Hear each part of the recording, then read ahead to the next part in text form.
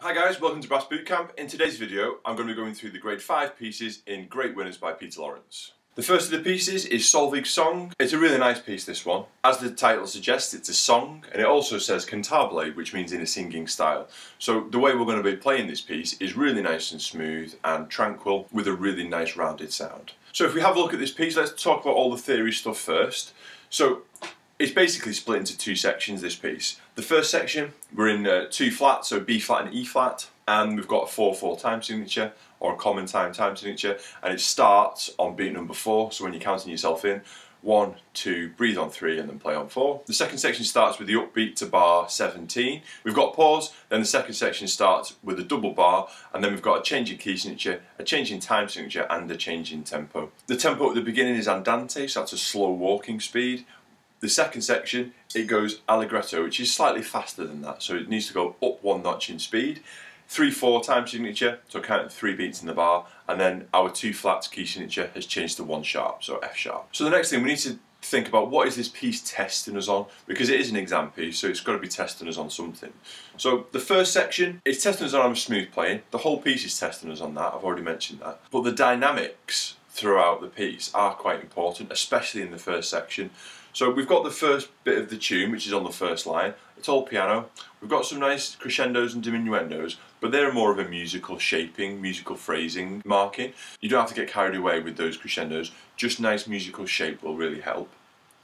Then when the tune repeats on the second line, we've got to go from piano all the way up to forte and then all the way back down, which is quite a big dynamic change, so we need a nice contrast. And when we're playing our different dynamics, we've got to try and keep the sound the same, the only difference is the volume, the dynamics of the sound.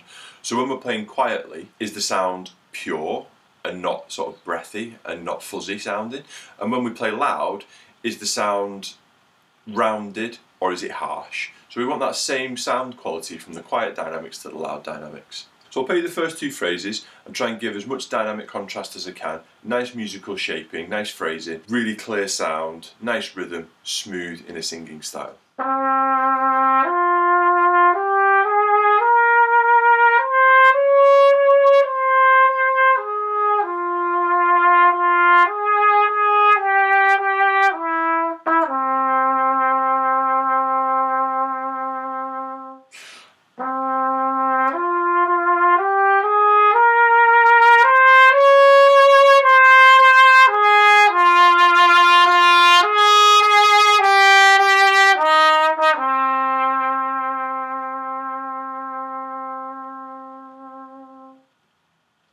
Was really thinking about controlling my air and keeping the sound quality the same at the quiet and the loud dynamics. So just two little notes in that piece. Each phrase, it's virtually the same, but there is one or two little differences.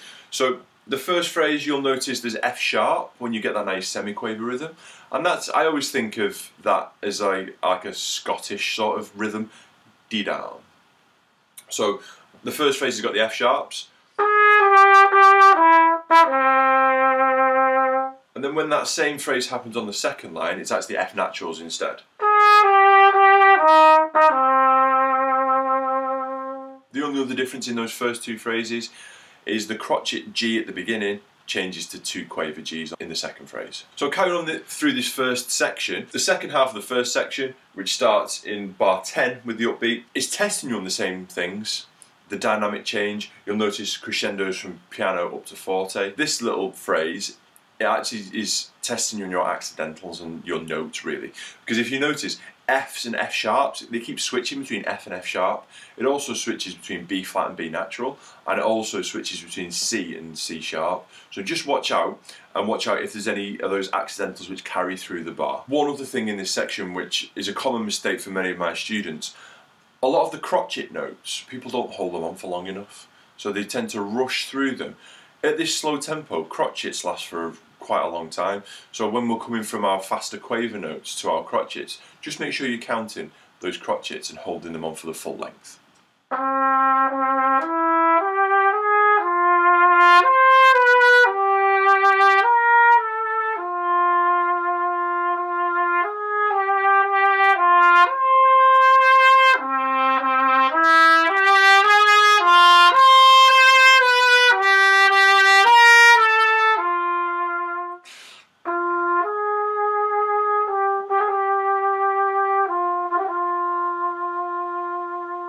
So again, really nice sound, really smooth. You've noticed that I'm slurring everything in this piece. You could tongue everything softly, but I think it's much easier and it gets a better effect if you just slur everything and make sure it's really smooth. Because it does say cantabile at the start, and it's called Solveig's Song, so in that nice singing style, really nice and smooth. So the final thing in this section is just those grace notes in the last few bars. So if you have a look at bar 15, we've got our little grace notes between the two A's, and then in bar 16 we've got the grace notes between the G's. So again, make sure your rhythm without the grace notes should sound like this.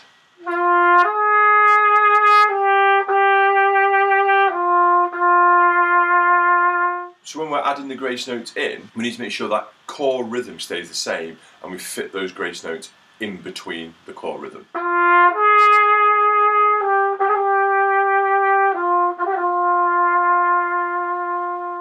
And the last tip on that one is don't play the grace notes too fast. We need to be able to hear both of the grace notes. And if you play them too fast, it disrupts the style of the piece, I always think. Uh, and also, it just sounds a little bit rushed and out of character for the piece. So this second section, if you just have a look through and we'll just talk about what this section's testing you on, it's pianissimo all the way through. So it's nice and quiet, which makes it quite difficult because it's actually quite high up. So it's all like D's, E's and F's and F sharps.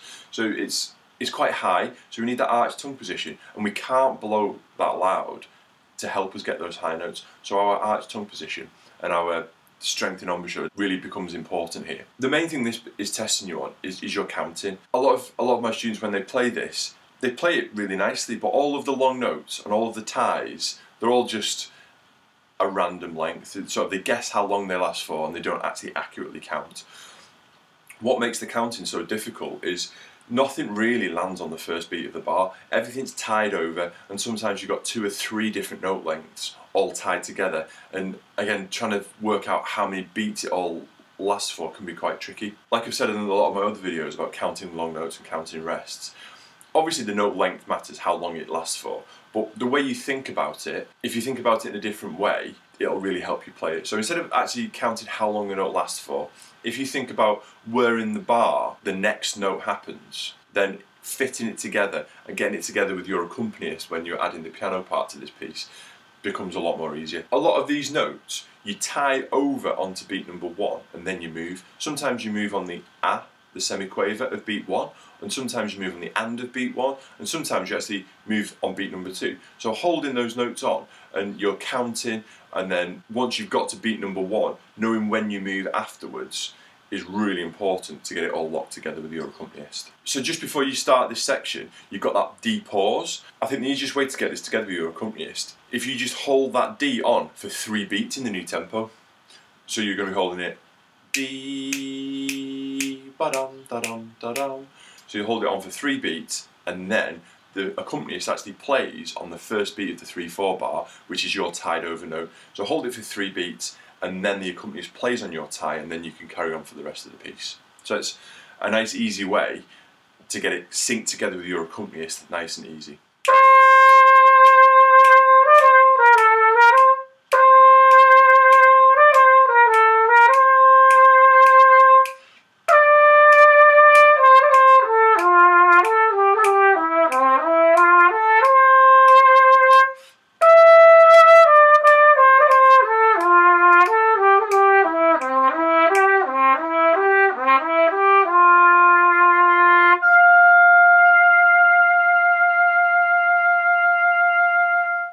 It's all nice and slurred, it's all nice and smooth, nice and quiet, pianissimo. That octave G leap at the end is really tricky, making sure your um, rhythm and counting is super, super accurate. So as with the first section, those grace notes in bar 22 and 3, they need to fit exactly between the notes. So this is how that bit sounds without the grace notes.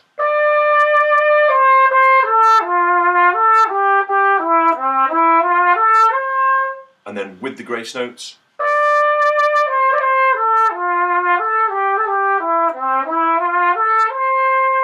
So the core notes are in exactly the same place and you're fitting the grace notes in between them. In bar 25, I would always advise, can everyone mark an F sharp on that high note? Because that's all one that a lot of people miss when they're playing this piece. So F sharp on that high note.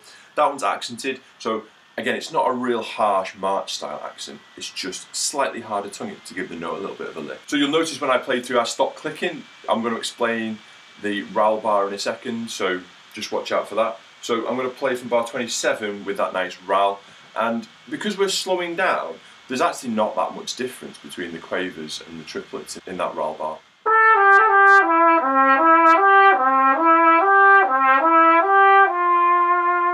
So you'll notice one and two and three and a one. So a nice even rit. Rit and RAL, pretty much the same thing. Slight differences, but I'm not going to get into there now into that now. So slight slowing down, nice and gradual. So the transition between the quavers and the triplets just flow nicely into each other, into the last bar. So that's pretty much it. Just make sure your counting is really, really accurate on that second half of the piece and you'll it'll all magically fit with your accompanist when, when you rehearse before your exam.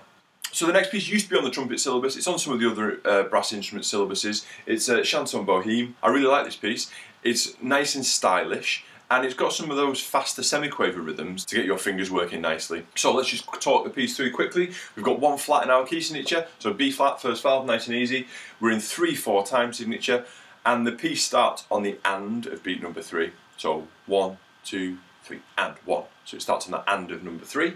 Um, allegretto, which is sort of fast-ish tempo, so it's the same speed as the second section of Solveig song. Light and bouncy, there's no style markings, but it is a light and bouncy piece. So again, there's lots of articulation markings, make sure you're following those exactly. Generally, if the piece is slow and smooth, then you have a little bit more leeway for your interpretation. So if you've seen a lot of my other videos, if it says dolce, which means sweetly, or espressivo, or tranquille or cantabile, anything that means sort of in a singing style and it's a nice slow piece, then slurring everything, I find, nearly always gets you the best effect for that piece. In anything that's medium tempo or fast, generally, with there's hardly any exceptions, if you do exactly what it says on the music, you'll be playing in the right style. I'll quickly whiz through the first section of uh, Chanson Boheme. There's not really much to say here, just counting your rhythms and getting your fingers nicely coordinated on those semiquavers will really help.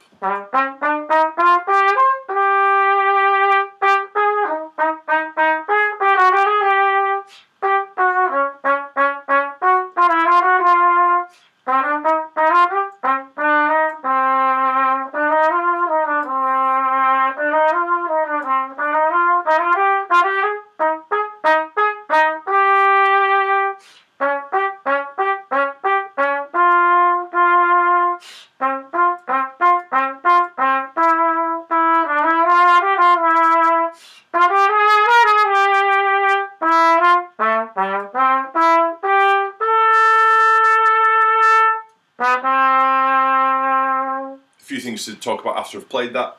So you've got your rit at the end of that section and you've got your pause. So your rit you're going to slow down nice and gradually. You're going to hold your pause and then you'll finish the phrase off with that low C sharp and D. You'll notice that I follow the tonguing exactly, so light and bouncy quavers, dum dum dum dum sort of style, really smooth slurred notes. Nothing was harsh, it was all light and sort of playful in style. Couple of things to mention as well, there's quite a lot of accidentals that follow through the bars. So if you have a look in bar 14, there's E flats at the start of the bar and the E flat carries on for the whole of the bar. The semi-quaver rhythms, just make sure you're pressing your fingers down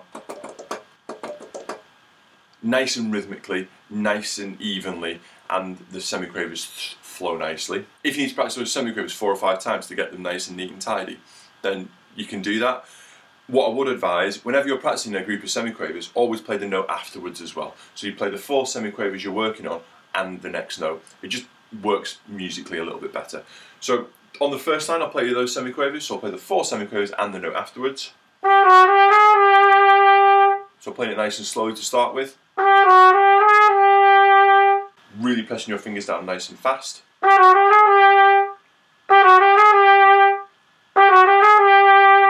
Until you're really happy with your fingers moving nicely. A couple of other little techniques to practice these semiquavers. You could play it in various styles. You could tongue them and getting your tongue and your fingers synced up nicely. And then when you take your tonguing out, it should help with your finger coordination. You could always change the rhythm as well. So playing it with the long note first, so it's basically a sort of dotted quaver, semi-quaver rhythm. It helps every other valve movement be really fast. And then if you do it the backwards way, so you start off with the semiquaver, then you've practiced each pair of notes in a fast way, and those longer notes in between just give you a little bit more time to think. So then when you go back to playing it normally, you've practiced each pair of notes faster than you need to, so when you add it up, then you'll get a nice smooth result at the end. That same method works for all of the semiquaver patterns in this piece. So whether it's the first bar of the second line or these semiquavers which we'll talk to in the second half of the piece. So the second half of the piece starts in bar 22. Um, accidentals, just watch out for those. There's some A sharps in this bit. So first valve, it's the same note as B flat is an A sharp.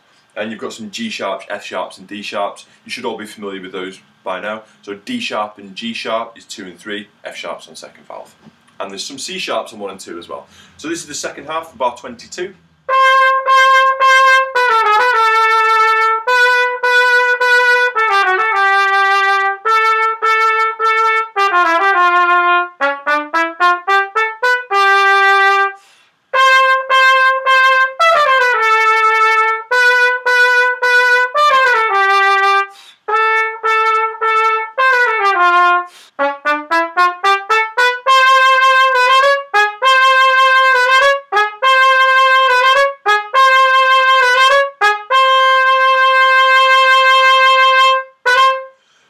Louder and a bit more proud than the first half, but the style stays the same. It's relatively light and bouncy. And again, all those semi-quaver patterns, if you need to go through and practice each one individually, using the same methods I talked about earlier to get them nice and clean, it might take you 10 attempts on each one, but that's time really well spent to get the flow of this piece in the right place. So that's pretty much it. It's no longer on the trumpet grade 5 syllabus, but it's a good piece to practice because it's nice and stylish and it's a relatively famous tune. Right, okay, we've come to the last piece on the grade 5 syllabus. It's Raiders March from uh, Indiana Jones.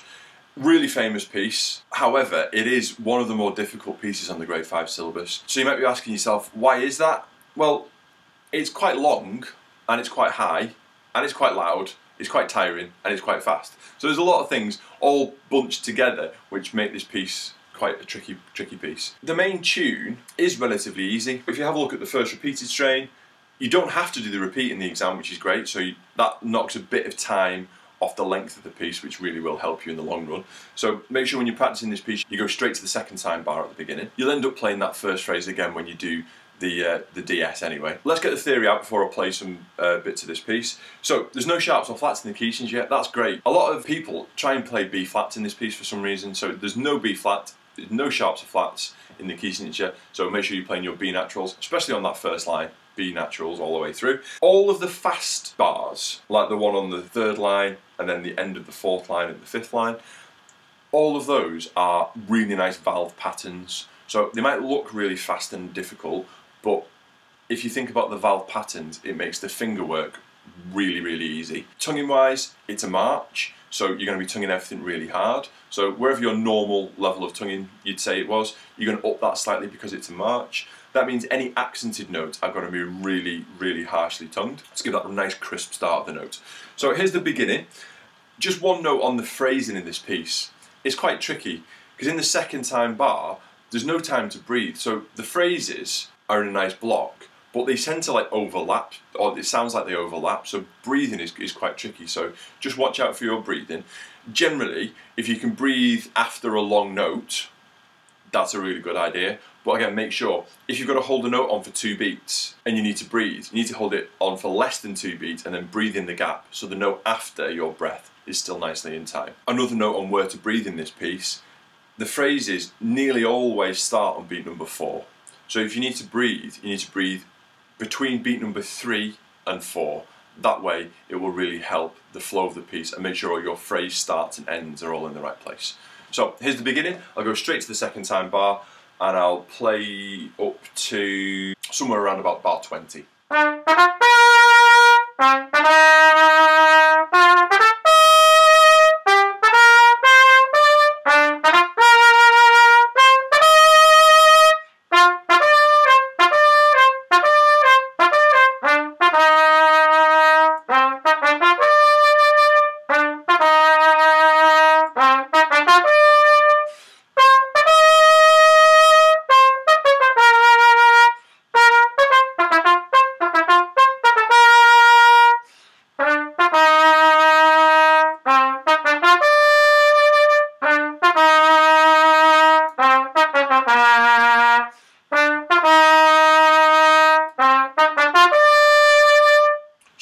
Recognise that tune. I was focusing on really nice hard, hard tonguing because it's a march and counting the phrases and making sure each phrase starts on beat number four and trying to fit your breathing in around the phrasings really helps with the flow of the piece. Let's talk about bar 16 with the upbeat. That's the first like difficult bar. So a couple of ways to practice this one. The first three notes, including the upbeat. So C, E flat and D. That's the bit that everyone makes a mistake on. The amount of times I hear it's too numerous to count. So that rhythm, you've actually played the rhythm of the C and the E flat maybe 13, 14 times up to that point, and then that one, because you're thinking about the faster notes in the bar afterwards, instead of playing ta ta ta, people play ta ta ta, and play two crotchets instead of a dotted quaver semiquaver. So playing that rhythm four or five times before you practice anything else will just make sure you preempt your potential mistake. So the upbeat to bar 16, just three notes, play it four or five times.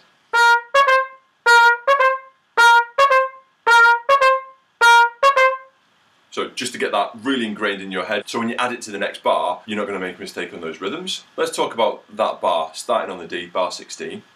So there's a nice little valve pattern. So first, open, second, open, first, open, second, open, first, open, second, open. So the valve movement is the same thing three times. The only difference is the first two you go down and play G's and F sharps, and then the last one, it's C's and B's. It's the same valve movement, but the pitching's slightly different. So again, playing it nice and slowly, and just thinking about your valve patterns.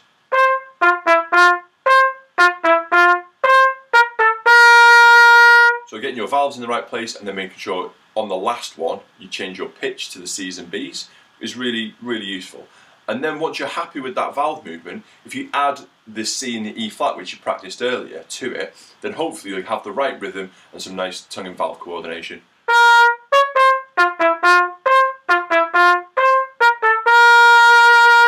So like I always say, practice it slowly first. Use your metronome. I know I don't always use the metronome when I'm doing these videos, but having the click in the background is really disrupting. But when I practice normally, I always practice with the metronome. It stops any guesswork, you know you're playing exactly at the right time and that means when you start fitting it in with the rest of your band or orchestra or ensemble you know you can play it at a certain speed and you know you can play in time. If you can't play with your metronome clicking at you and you find it difficult to be in sync with your metronome whilst it's making a click, as soon as you turn it off and you try and rely on your internal metronome, if you can't play it with it clicking at you, then the chances of you playing it with your internal metronome are slim to none really. So first of all, practice it with your metronome, playing it nicely in time, and then you can turn your metronome off, and then you stand a way better chance of playing it in time with your internal metronome going off silently in your head. Just make sure, once you practice it slowly, you need to get it up to the right tempo. So let's, let's talk about the tempo of this piece. Marches are usually at 120 beats per minute, so that's the uh, tempo you're aiming for. If I, if I just grab my metronome, 120 is this speed. So you need to be able to play those bars. So that's the tempo you're aiming for, 120 beats per minute. If you play the main tune at that speed, then that's the speed it should be. If you're struggling and you, your tonguing is, is, not, is unable to keep up, then you need to go and do some tonguing practice away from the piece with some easier notes, with, some, with no valve movements, just on one note, practicing those rhythms. And then once your tonguing can go at 120 beats per minute, then you can start adding your fingers in, adding the notes, adding the pitch changes. Then you're not wasting your time practicing the pieces when it's your technique that's your limiting factor. The minimum tempo, so you're aiming for 120, the minimum tempo, if you go to 112, I know it doesn't sound like a big difference, but it does make, it does make a difference. So this is the same rhythm at 112.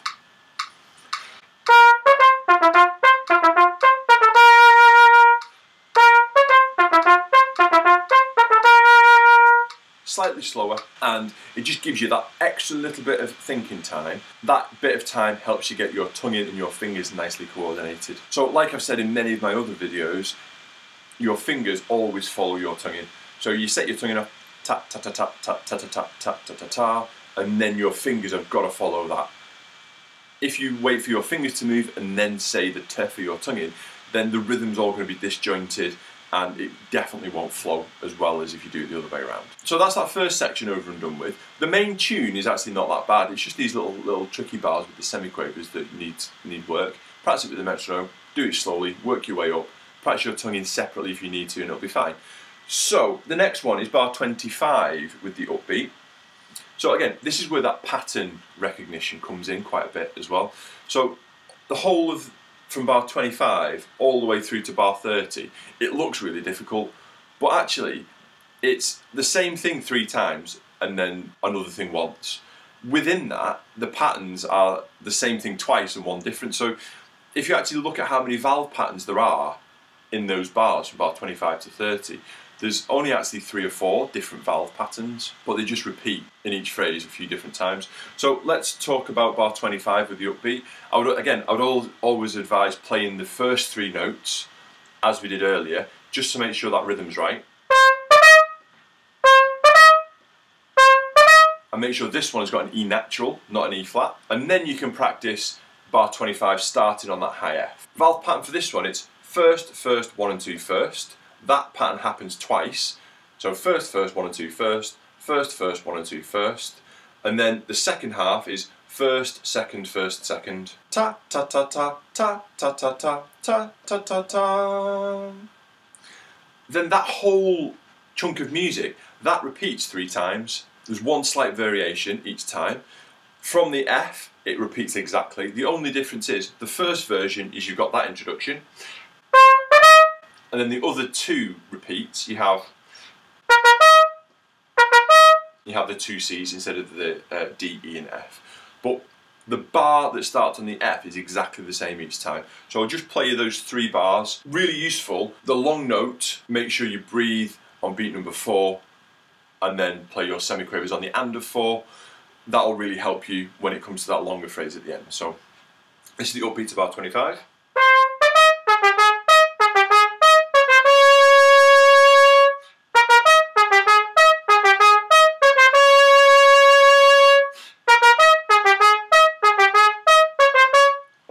There for a second. So you can hear it's the same thing three times, it's just with that slight variation on the introduction to each bar.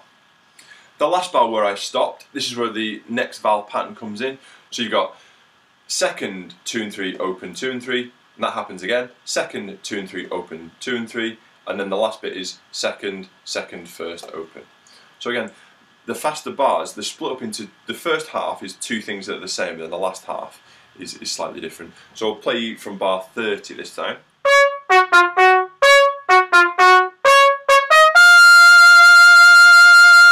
And it finishes on that nice high G for nearly two whole bars. So just finally, once you practice each of those bars separately, add in those last few bars together. So that's from bar, the upbeat to bar 29 through to that high G.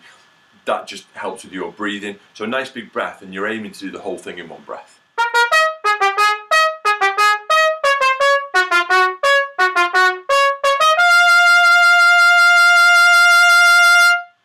Point, we go back to the beginning and take our coda. So I'm going to quickly play from the upbeat to bar 8 and I'll take the coda.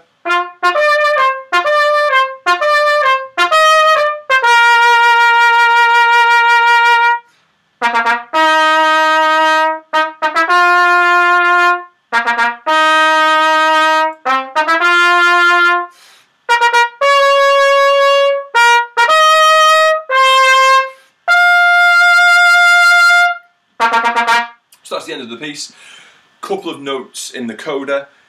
The rhythm that is ta ta ta ta ta ta ta ta ta and the rhythm that is ta ta ta ta ta ta ta, they keep switching around. So if you have a look at the MF in the coda, the low Cs, the first one is ta ta ta. The next bar on the Fs, it's ta ta ta ta. Then the next bar is back to ta ta ta on your low Cs, and then the next bar ta ta ta ta. So those rhythms keep switching around. Make sure you get those rhythms in the right place. Again, breathing between beat number three and four throughout the whole coda is really, really useful. I took a breath before that high G, just so I can get it a nice powerful high G out there as well. So that's pretty much the whole piece. I'm just going to talk about one final way you can practice the difficult bars that sort of eliminates your fingers and practices your tongue position and your accenting notes and your just tonguing in general. So I use bar 17 as the example, we've got the D's to the G's. We can eliminate that and just use C to G. So we could use this, you could do use the rhythm but change the notes so it's all on open valves.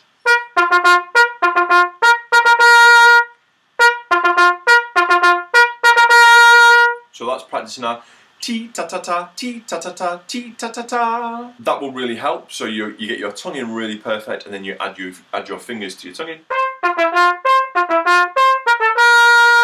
Nice and easy. Same thing in bar 25. Instead of doing on open, you can do the whole thing on first valve.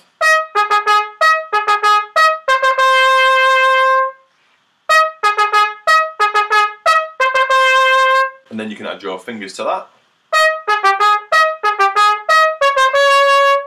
So you can make sure you're going accenting your high F with a nice T tongue position, ta ta ta for your B flat, T for your high Fs as well. And then when you're playing your Ds to finish with, it all depends on your you individually. You can either it's, it's either a ta or a T or, or somewhere in between. So T ta ta ta T ta ta ta T ta ta ta.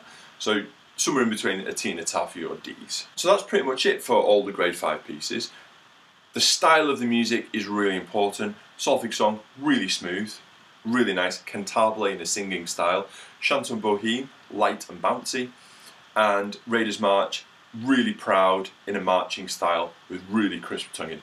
And you'll notice oh, there's a lot more techniques involved, isn't there? So especially in Raiders March, tonguing and finger movement, getting those synced up nicely, getting your tongue position in the right place because it's jumping around with the intervals. And also, again, the rhythms and the counting it's really important you get your rhythms and your counting right. For the for the main reason is you often practice these pieces on your own, and then when you come to practice with your accompanist, if your rhythms and your counting isn't quite right, trying to get you and your accompanist synced up together is really difficult. If you can play your rhythms and you can count everything really accurately, then when you play with your accompanist, it'll just magically fit together. So if you're holding all your notes for the right amount of time and you're not rushing your rhythms or you're not cutting notes short or adding extra beats on in different places, then if it's rhythmically correct, it will fit together with your accompanist really, really easy. But if your rhythm is not quite right, getting it getting it fit fitted together is, is really difficult. So that's all the exam pieces covered from Great Winners. There's one more video to come, which is sort of the bridge between grade five and grade six. And then we'll have covered most of the pieces in Great Winners, which I use when I'm teaching. I hope you've enjoyed the video, and I'll see you soon.